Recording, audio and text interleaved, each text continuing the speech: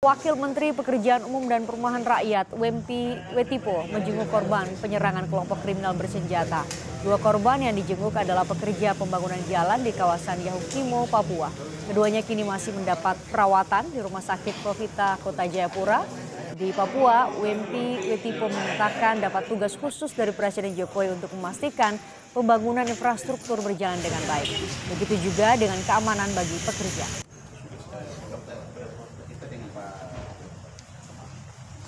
Pak Presiden sudah kasih saya tugas khusus bicara soal pembangunan infrastruktur ini dan bicara soal keamanan. Jadi saya mau sampaikan pada kesempatan yang sangat baik ini, saya jadi wakil menteri PW, eh, PUPR ini, ya urus bukan hanya infrastruktur tapi kalau khusus untuk di Papua termasuk dengan keamanan supaya infrastruktur ini bisa terbangun dengan baik ya. Jadi saya mau sampaikan kepada saudara-saudara saya yang ada di sini kalau ada komunikasi yang terputus mungkin karena kita miss mari kita bicara